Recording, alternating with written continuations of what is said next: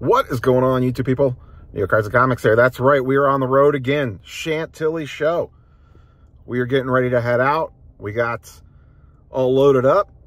Got some Mountain Dew already. We're gassed up already.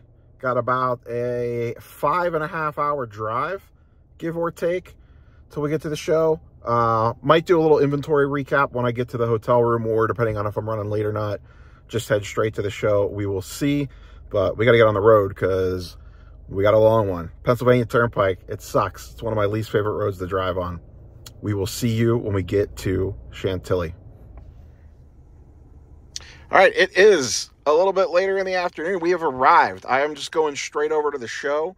So I'll show you boys and girls a little bit of what I brought with me. It is once again mostly baseball stuff that I would like to move off of. We got a little LE triple patch. We still got that Aaron Judge.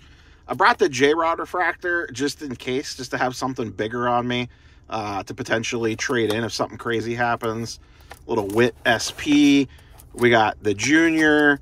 Most of this is all stuff you've seen from recent PSA submissions. Little Chourio 9. There's that LE 8.5. This should probably be a popular one. Little Gunnar Henderson rookie auto. We got that coming with us. Still carrying around that J-Rod SP Gold Mirror little Kwan, some Parker Meadows, some more Witt, some more Witt. Uh, we got a little Jose there, and that Jim Lee CGC 9 that I got. So that's what I brought with me uh, live from the car. Getting ready to, I'm, I'm just across the street from the show. I just wanted to grab something to drink real quick, and then we're going to head on over and hit the show and see what is going on. Uh, this Friday night is like a preview night uh, I'm getting here with probably about three or four hours left in the show, so it'll probably just t- kind of take a quick lap around and get a feel for things.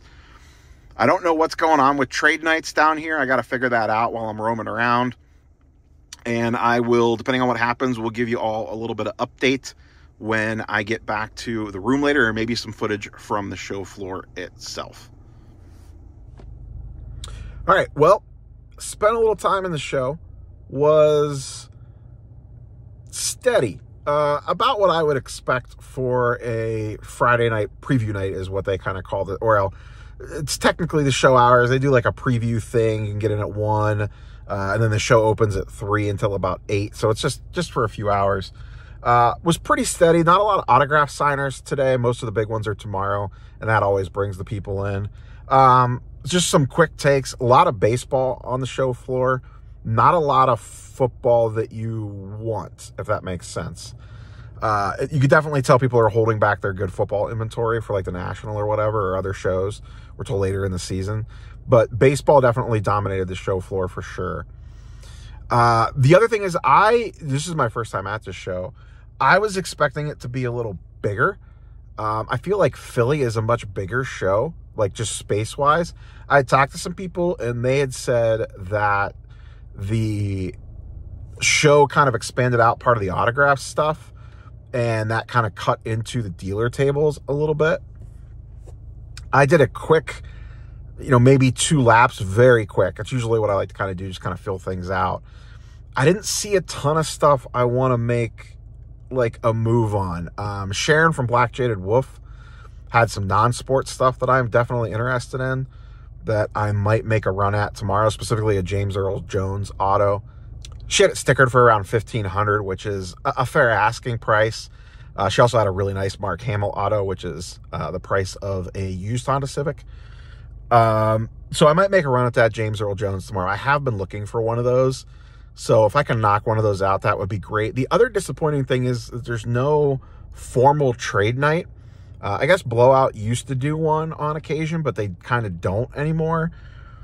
So I'm going to check out the Holiday Inn that's nearby, that's in the same parking lot. I guess that's kind of where people congregate. So I'm going to go grab some dinner and then maybe check out the Holiday Inn for a trade night and see what's going on with that. But we'll update from there. All right, we're back. It is Saturday morning. I did not go to any trade nights last night. Uh, I thought about it, grabbed some dinner, and decided, you know what? I'm just going to go back to the room and watch some women's Final Four, watch the Caitlin Clark game, and call it a night. Start fresh this morning. Just got some breakfast, getting ready to head over to the show now. I believe Flipping Steve is already in town, so try to hook up with him.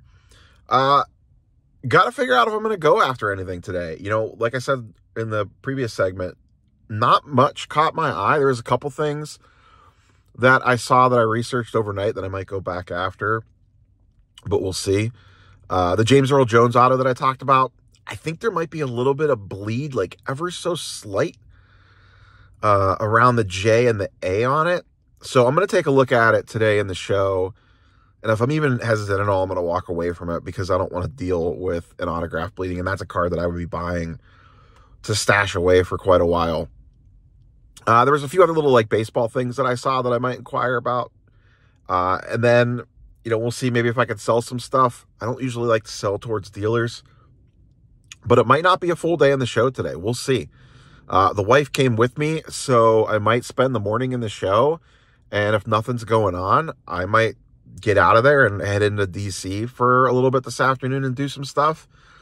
And then try to swing over and hit maybe a hotel trade in at the Holiday Inn or something. Uh, but that's the plan for today. We will see what happens. Uh, we got to head over to the show and track down Flipper Steve. We found Pub and Dump Steve. Have we found anything at this show, Steve? It has been tough. It, this show's been tough. I'm gonna go back and try to get a card that I saw in the very beginning, which is normally a mistake. It's probably gone. But no, it's actually been kind of rough for me. It's been rough for me too. I made one pickup. I drove six hours one way for the crazy daisy sticker. Guys, I found a rocket ship to take all our cards to the moon. We are back home from Chantilly. Um, I was hoping to get a little additional bonus features. I think the last thing you all saw was maybe me hanging out with Flipping Steve as the show floor winded down, and maybe me on the hunt to go try to find a trade night, which Spoilers, I was not able to do. I believe there was a small one at the Holiday Inn. When I went past, not much action was happening. So I just went ahead and called it a night on Saturday night. Got up early Sunday morning with big plans to get on the road early. Um, the big solar eclipse nonsense is happening in Ohio this week uh, for totality. So I wanted to get on the road before a bunch of traffic happened. And that's where things got crazy. Like I said, I was hoping to get a little bit of content here and there this morning to kind of fill in the gaps, but uh, went out in the morning to put my bags in the car and the back tailgate on my wife's Outback closed but did not latch all the way. It got stuck in the cargo net. It was basically 98% of the way closed, which left the dome light on all night, which means I had a dead battery when I woke up this morning. So that th- set things off the rails a little bit. I was hoping it was only a dead battery. Luckily, it was uh, a nice little two hour delay there. I was wrapped up in that, and frankly, content was the last thing on my mind. I, my head was spinning on if this is not the battery, how the hell am I going to get home? And what am I going to do for work tomorrow?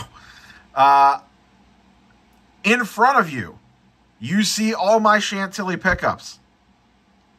That's right. I bought nothing. I sold nothing. Uh, it was from a transactional standpoint, it was not a good show for me. From a social standpoint, it was great. I got to hang out with people. I got to talk to people. Hung out with Flipping Steve on and off for part of the day on Saturday. Saw a bunch of other friends. Made some new friends had some time with the wife. It was great times. From a buying, selling, transacting cards, trading, etc. Bad weekend. Uh, I plan on doing, you're seeing this first. I will do a more formal sit down slash recap with some thoughts on the Chantilly show. Uh, the long and the short of it is just to kind of give the quick and dirty. This will be a little sneak peek preview for any of y'all that snuck around to the end of this video. Basically, the repackers and whatnotters got in the show in the first 10 minutes and wiped out anything remotely decent. So, as a, you know, I don't want to call myself a casual because I'm not, like an advanced casual. I don't know what else to call it a semi-professional. I I don't know what the right term here is. I mean, long story short, I was there three hours after the show floor opened, and that was too late. The good stuff was gone already. So I was left with the scraps. I honestly didn't even see much. There's a few cards that caught my eye that I inquired about, but nothing super crazy. The lack of a formal trade night uh, is a downer for me. Uh, that really, really hurt the overall show experience for me as a first time attendee to the Chantilly show. I love, I went to the Philly show once, uh, absolutely love that show. Chantilly show, the venue was great. Uh, you know, like all that sort of stuff was fine. The location was really good. Just the, I, I, I just feel kind of meh coming out of that show, and it's not the show's fault. It, it's not the show's fault. The show didn't do anything wrong. Um, the current state of shows or the way shows are trending is in a weird spot, and that's kind of what I want to talk about a little bit deeper. So, uh, look forward to that on a video later this week. We'll do a little bit of a deeper discussion on Chantilly. That is a wrap for this one. Oh, I did get one pickup. I left it upstairs. I did get a Crazy Daisy sticker. So I have a Crazy Daisy sticker. That was the big W. That was the big win of the trip. That's all I got for you, boys and girls, on this one. We will catch you for a full discussion video on Chantilly later this week. Have a good one. Charge your batteries. Peace.